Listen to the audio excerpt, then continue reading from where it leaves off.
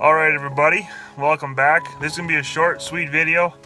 Um, I'm actually in my brother-in-law's Jeep. We're out uh, checking his trap line right now. Um, we had a recent snow, so uh, a lot of the snares are pushed around. But, uh, you know, I don't really share, share the trapping on this channel, just because I'm not sure if some people would be, uh, you know, probably wouldn't want to see it.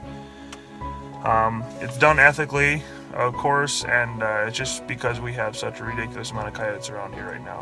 Um, uh, my brother-in-law trapped, I believe it was 10 coyotes in a square mile in November, so it's going to help with the deer populations and other other game populations as well. So it's more uh, predator control than anything. But anyway, so I was tagged uh, a few days ago by Jag Fishing. He's a pretty awesome dude. I believe he's from the state of New York. Uh, he does lots of great fishing videos and some pretty awesome live streams, pretty entertaining stuff to watch. Um, he tagged me. He said if I could go anywhere, if I could go fishing anywhere outside of Canada, where would I go and what species would I go for?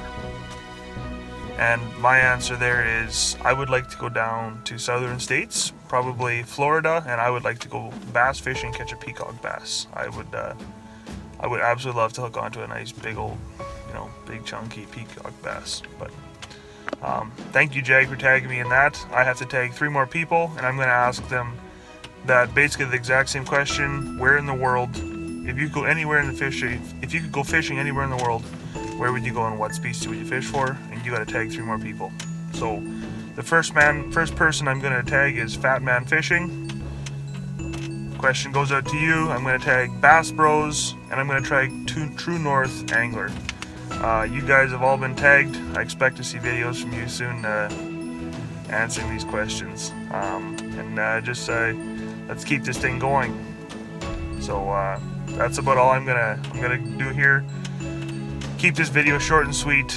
Um, I'm gonna have a, another tag video coming out pretty quick here. I got got blah, blah, I got tagged by Grant McIntosh, and so I'm going to make another short video on that. But that's all I got for you guys now. Thank you for watching. If you're not subscribed to Darren's Northern Life, please subscribe, hit the bell, hit the thumbs up in this video. That's all I got for now. Have a good one.